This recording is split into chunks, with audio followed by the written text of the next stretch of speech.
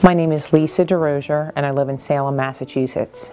My pregnancy was a, a, typical pregnancy. It was my first pregnancy. I was pregnant with twins. During a routine ultrasound, the uh, fetal medicine doctor noticed a wider ventricle on the brain.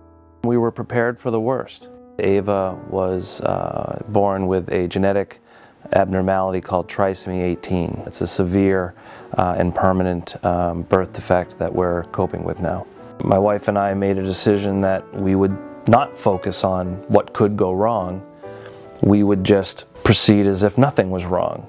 The birthday was a joyous time for my wife and I. We were very excited, but we had this component of that day where we, we had to uh, manage our expectations. There's a chance that she was probably not going to survive long.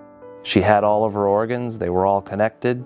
Um, she was eating and uh, doing all the things that babies do. Uh, so the initial hours and then the initial weeks uh, passed and uh, for the most part she was, she was doing really well. I was home uh, by myself at the time just with the two babies and while I was feeding her she turned blue. What the doctors tell us is likely is that her brain actually shuts her, her heart off.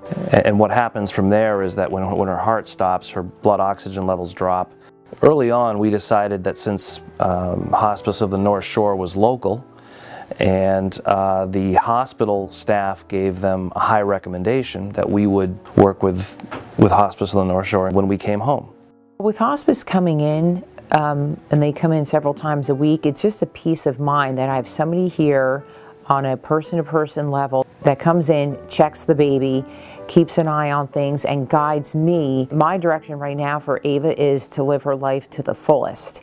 And they, they give me the tools and the understanding, and they, they look for certain things that I might be missing. There were other services that hospice um, had available, but for us, for our case, uh, what meant the most was somebody who had medical experience and experience with, with, with babies.